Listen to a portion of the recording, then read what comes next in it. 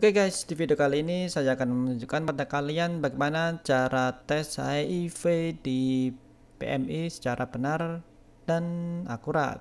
Pertama, kalian datang di kantor PMI dan di sini saya sedang diukur tekanan darahnya dengan menggunakan alat ini untuk penekan lengan. Oke, setelah itu kita akan ditusuk pada jari tengah kita untuk diambil sampel darah dites kadar gulanya bisa digunakan untuk donor darah atau tidak. Dikasih alkohol terlebih dahulu biar steril lalu dia petugasnya akan mengambil darah kita lalu diletakkan di alat HP ini untuk mengetes kadar gula kita. Jika sudah memenuhi syarat maka kita boleh melanjutkan untuk donor darahnya. Oke, setelah itu kita disuruh berbaring di tempat untuk pengambilan darahnya ini petugas sedang menyiapkan kantong darah kita dengan alat untuk menimbangnya. Setelah itu kita akan diambil kantong darah kita dengan memberikan sebuah stiker untuk label pada darah yang akan diambil.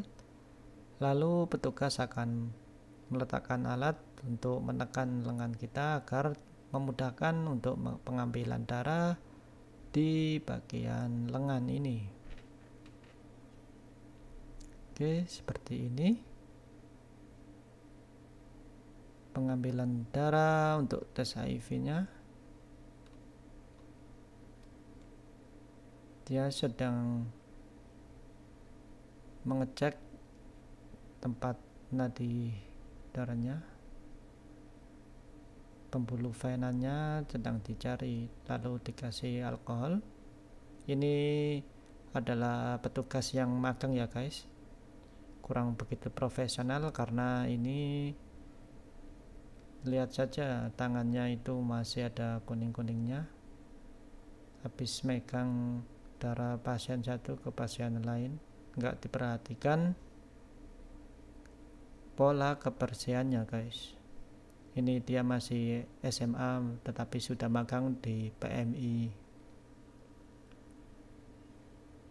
lihat cara nusuknya aja dia salah guys. Caranya nanti ini aduh sakit sekali guys. Masih pemulaan ini dia.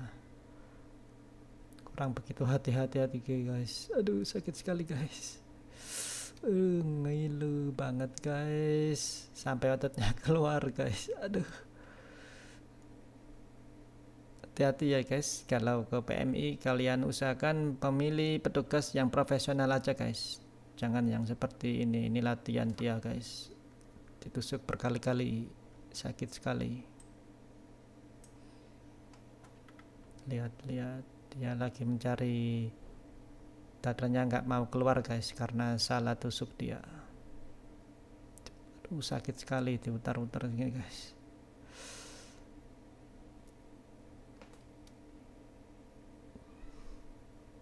Lihat kulitnya sampai mengangkat begitu guys. Sakit sekali guys. Beda sekali dengan petugas yang profesional. Sekali tusuk sudah berhasil keluar darahnya guys dan ini dibandingkan dengan petugas yang profesional tinggal tusuk seperti ini. Dia langsung keluar darahnya guys. Tepat sekali. Dan nggak begitu sakit jika petugas yang profesional seperti ini. Darahnya langsung bisa dipompa. Lihat dia masih memompa.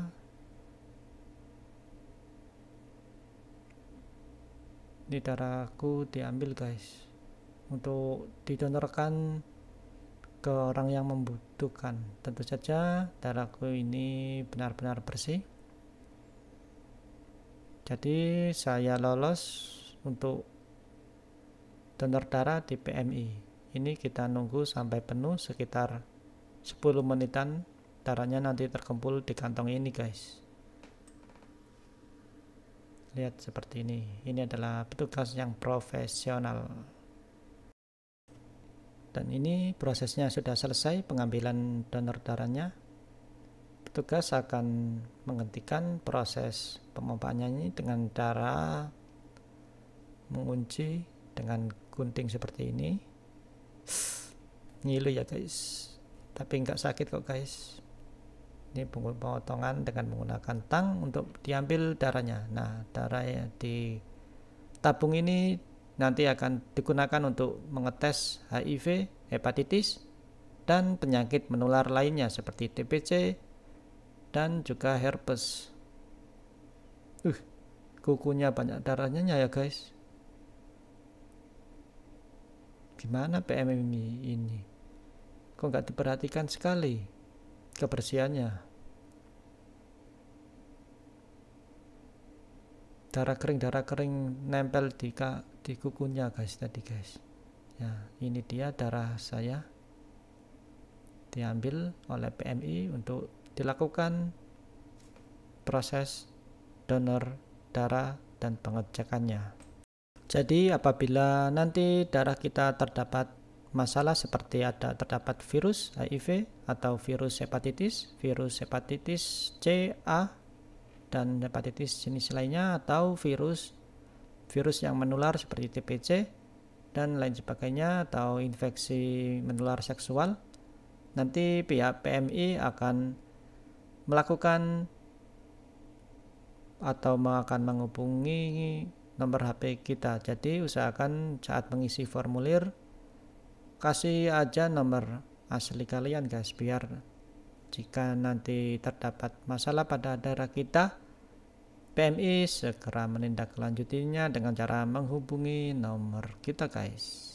Mungkin seperti itu aja cara tes HIV yang akurat karena di PMI ini terdapat atau cara tes HIV-nya tidak menggunakan rapid test lagi guys, tetapi menggunakan alat yang lebih sensitif dari rapid test seperti VCT di puskesmas itu tidak digunakan karena di PMI menggunakan alat yang lebih sensitif untuk mengecek HIV-nya karena darah yang kita sumbangkan akan segera dipakai oleh PMI atau orang yang membutuhkan darah. Jika kalian ingin melihat tes HIV lainnya, kalian cek aja linknya di deskripsi. Sekian dulu video kali ini. Jangan lupa kalian subscribe agar tidak ketinggalan video terbaru lainnya. Terima kasih.